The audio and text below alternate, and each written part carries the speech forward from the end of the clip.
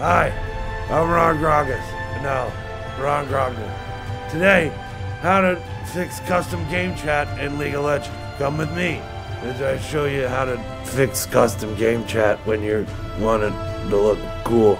If you find League of Legends is having issues of any kind, and it's not the result of server issues, then a common practice is to repair your installation. You can do this by choosing the two gears on the top left of the login page and choosing the repair button. This will take a few minutes as it will check each file as it repairs. Why you always gotta be weird? Why why you gotta talk to people strange and customized? Like why couldn't?